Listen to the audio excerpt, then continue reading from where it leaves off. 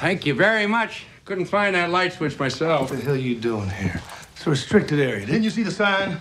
Signs. Signs. That's all I see is signs. Look at this. Stressed out dormants on the windows, walls that are deplaning to an alarming degree. Deplaning? This house is obviously infested with reticularis mariacomos. Well, what's that? What's what? Well, re- Reticulate. See, you can't even say it yourself. they are deadly African microscopic termites. They can eat a hundred times their weight in five minutes. Much like yourself. From the look of things, I'd say, oh, this place is about ready to collapse. Oh, who are you? Billie Jean King, Bug Busters.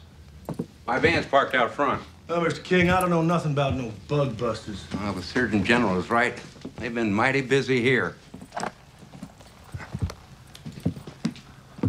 The only time you can catch them is at night. Aha! I got one. See that? Ah, these little buggers are the piranhas of the insect world. The only thing they like better than wood is human flesh. Really? You bet. Well, if you can't see it, how do you know you got one? Well, I'm glad I asked that question. They make this horrible, high pitched noise.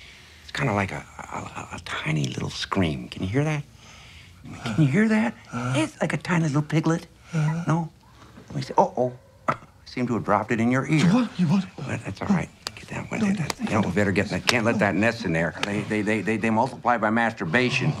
Now, the- the only way to get that out is to get as close to the floor as you can. Go on down to the floor. That's right. They, they, yeah, they're drawn to the floorboards. Now, now, shake your head like you're trying to get the water out of your ear. That's good. But hit it no harder. No, this side. It's on this side. That's right. Now make that scream. That high pitch. That'll draw them out. Squeal like a pig. A little higher. Yay!